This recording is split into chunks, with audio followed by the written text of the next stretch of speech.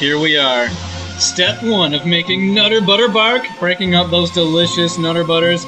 We're going to crush them up and spread them all over this table. And then we're going to smother them in delicious milk chocolate. That's it right there. It's waiting to become a part of this bark. We're going to have to bring it up to temperature first. We're thinking uh, between 98 and 101 degrees is going to be the sweet spot for that chocolate. And after we get the chocolate poured, then, oh yeah, peanut butter chips because we don't have enough peanut butter just in the Nutter Butters itself. So, we'll come back and we'll join you with the next step of the chocolate.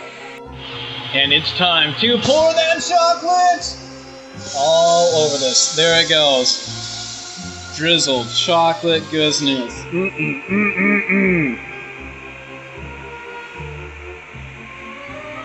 It's shiny, it's sweet, and it's about to become Nutter Butter Bark! What was that, Mike? Nutter Butter Bark! You heard it here first, Nutter Butter Bark. Alright, so we're gonna slather it all over, make sure that all those Nutter Butters are coated in this delicious chocolate. Mm-hmm. Just massaging the Nutter Butters. You don't want these cookies to pull a muscle.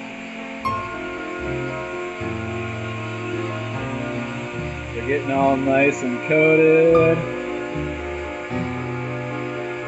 Look at that. Our chocolatier's done this a time or two, I think you could say.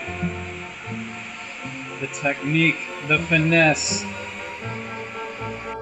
And now it is chip time! Let's get those peanut butter chips spread all over the chocolate Nutter Butter goodness. Sprinkling them like some seeds. We're gonna get a good yield of Nutter Butter Bark this year. I hope everything comes up well. I don't think we're gonna have to do any weeding with this. It's a, it's a good crop.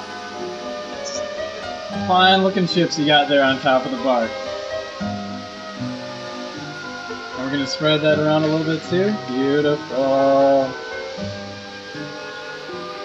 Yeah, oh yeah, all those spaces. That's right. Let no bit be unchipped. Beautimus.